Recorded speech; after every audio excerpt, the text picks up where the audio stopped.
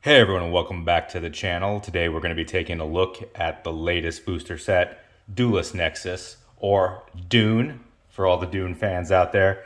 Uh, we're going to jump into it here. Before we get started, be sure to subscribe to the channel. It means a lot to us, uh, and we appreciate the support of everyone.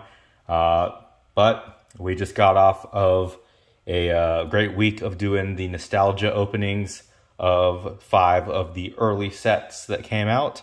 Uh, it was a great set of videos. If you haven't checked them out, be sure to go uh, take a look. They were uh, some of the better openings that we have had on the channel. We got a lot of good hits, a lot of the good secret rares, had a lot of good luck uh, throughout all the videos. So definitely worth watching. Uh, be sure to go and check them out. Uh, if you're seeing this now, the giveaway for last month should also be announced. So go check it out to see if you've won. And we'll get into it here. So Duelist Nexus, we've got a chance to get quarter century rares. There's a lot of good uh, quarter century rares in it. There's a couple that are worth uh, lower values than the actual value of the box as well. Uh, but any quarter century rare is a good pickup, in my opinion, uh, mostly because we've not gotten one. Uh, the set value, box value, has dropped off uh, quite a bit since the initial purchase date to purchase times when it was announced. Uh, that's kind of just fallen hard. Uh, so that is something to be wary of here. We got Signs of the Tistina, Wheel Synchron, and we got Infernal Note with Night, Rickia Ghetto or something. But kind of a you know a good thing, I guess. You know if the if the value of the set or the box does fall, if you are hunting some of those bigger ticket uh, quarter century rares in particular.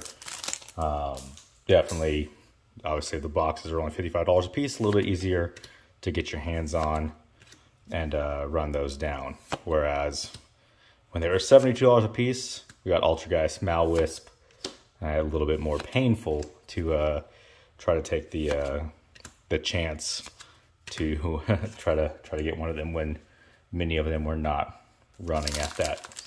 The Secrets, not doing great. Revolution Synchron, uh, still best card in the set of the non-quarter century rares. I think we're all giving that one a lot of uh, a lot of credit or a lot of uh, preemptive.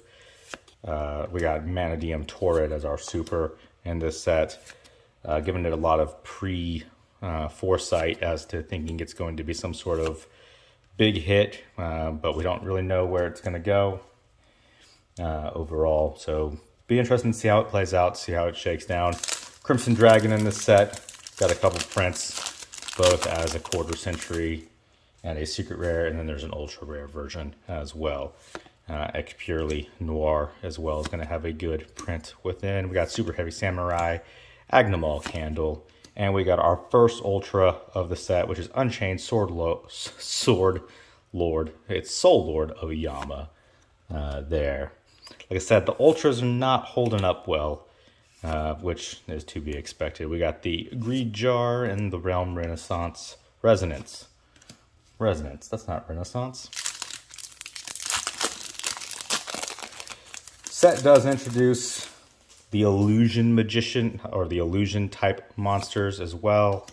So we do get a new uh, archetype within the set. Uh, so it'll be interesting to see where that goes. Infernoble Knight Turpin here. And with that, there's been some speculation behind these illusion monsters. And then Konami has placed on the OCG website a countdown timer. By the time you're seeing this, is either going to be down to two days or one day um, left remaining. The announcement is going to come on the second day of Worlds, which is currently uh, going to be in Japan. That's just got a weird background print. Altergeist Paratrader there. Uh, but they've got a countdown clock running on the OCG website, so it's in Japanese. says that, you know, as part of the 25th anniversary, there's some some change coming to Yu-Gi-Oh! And it's happening during the World Championships. And I've seen a lot of speculation that, you know, people are thinking Do we have a new movie coming out? Do we have a new anime? I've seen speculation, well, it's a new anime that continues off of the Duel Monsters uh, Battle City arc with our original characters, Ursonic Polar Star, which would be really cool because um, the illusion archetype monsters all have the Eye of Anubis. I would like to get one here so I could point that out, but also have it on that. And in later seasons, they kind of moved away from the ancient Egypt theme um, through the show. Obviously, GX uh, had a little bit of a tie-in, but not too much. But then later episodes, you know, obviously our later series, 5Ds, Vrains, etc., didn't really go into. Oh, we do have our first secret rare, and it is Nightmare Magician. So you see, it's a good secret rare. Uh, it's not one of the best. It's not the best, but it is a good one here. And so you see, like, we can get a good glimpse, right? We have some of the, you know, Eye of Anubis markings here. It's going to focus on my finger, but Eye of Anubis. So there's theories. Okay, we're getting, you know, Egyptian themes again. We're going to be seeing some of our older characters maybe in a new movie, a new anime, you know, who knows. Um, also because every protagonist in the anime has had their star monster have 2500 attack.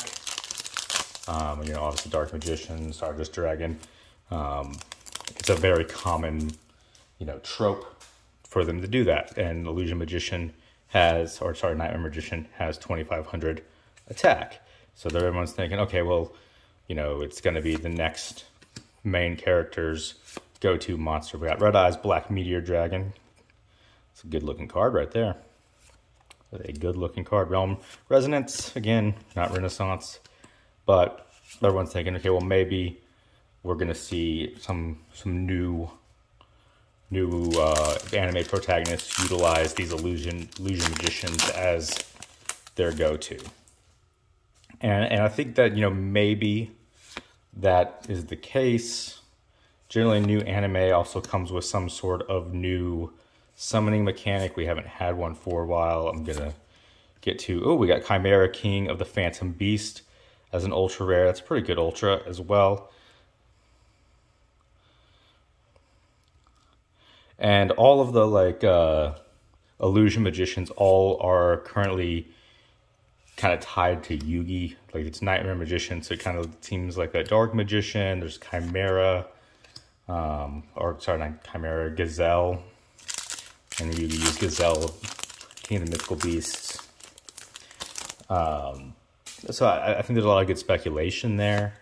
It just seems weird they would announce an anime or a movie during a OCG um, event, TCG event while we're focused on cards as opposed to at some sort of bigger, you know, jump fest, something like that.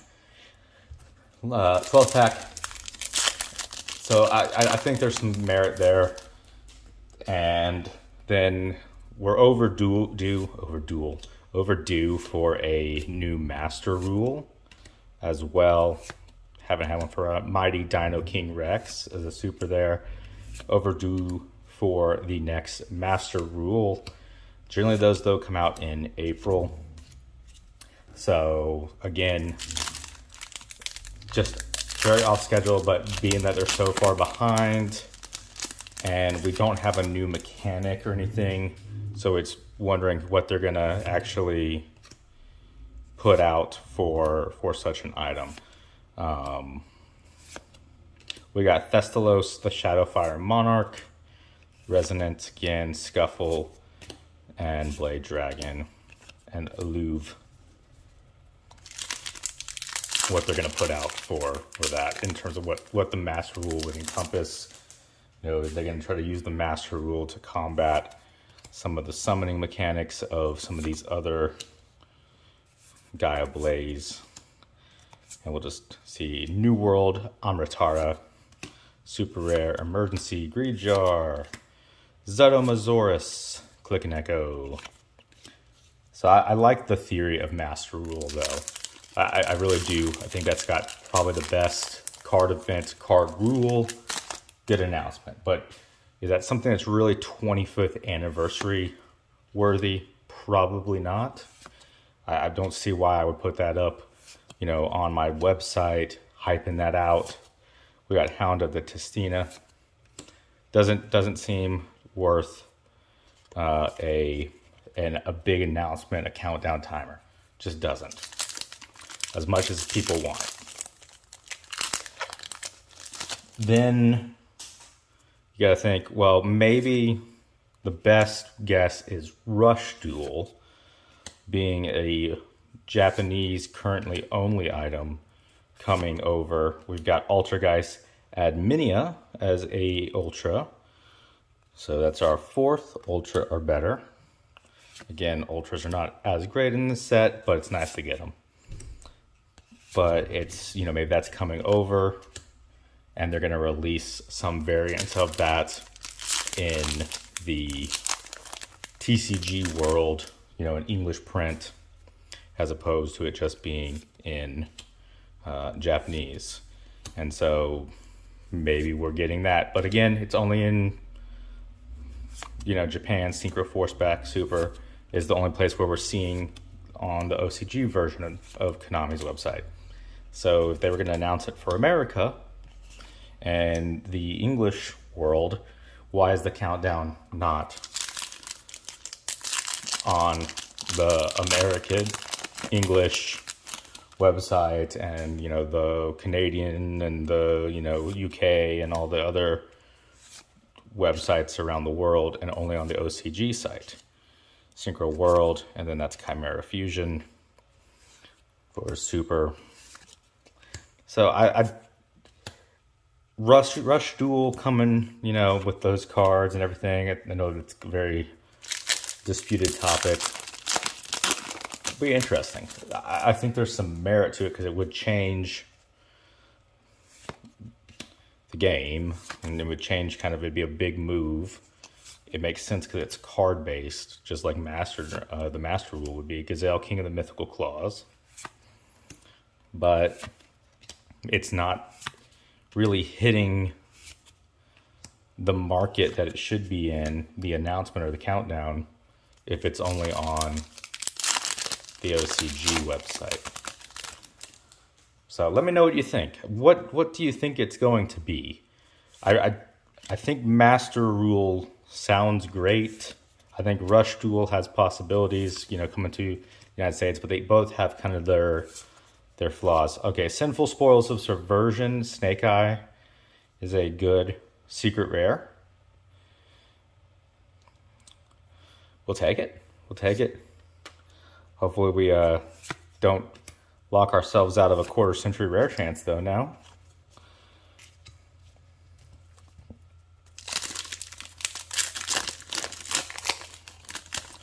But I'd like to know. I'd like to know what you guys think.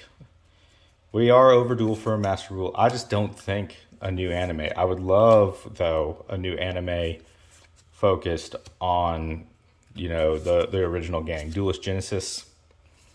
That would be, I, I think, in terms of revitalizing the card game as a whole, both TCG and OCG, as well as getting people back would do wonders. I think we had a boom during, you know, the rush of everyone wanting to collect things,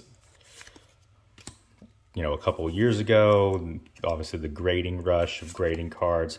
We got Angelica, Princess of the Noble Arms. That's a good looking card. I really do like the artwork there.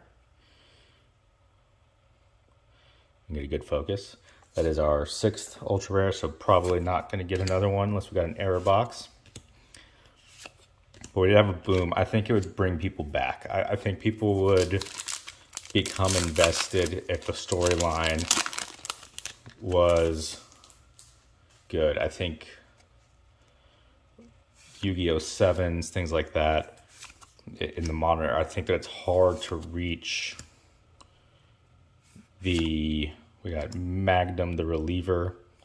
It's hard to reach the market that you want. Um, with newer stuff that you get more nostalgia. And I, I think that's kind of you know a, a trope at this point to say it's nostalgia, it's nostalgia, it's nostalgia, but you really hit people with, hey, look, it's the gang again.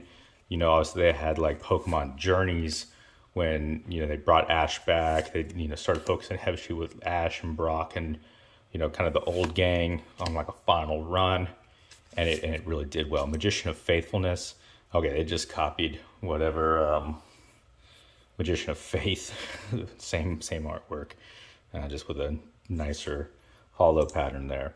But I think it brings people back. I think people remember it and will be like, you know what, I really did like the original, you know, Duelist Kingdom arc. I really liked Battle City. So let me know what you think. It's going to be, I, I holding out hope for an anime, but my my bet is that it's going to be something related to either Master Duel, not Master Duel, Master Rule, um, or a uh, Rush Duel. Rush Duel is probably my leading theory in the end. So these were our two secret rares we got. Nightmare Magician, new illusion type, archetype, very cool looking, and uh, Sinful Spoils, which is a good card, uh, and also a good uh, secret rare. So got a little bit of damage on top, no big deal. Uh, we wouldn't be selling it anyway. So I appreciate you guys stopping in. Let me know what your thoughts are, and we'll catch you in the next one. Take care.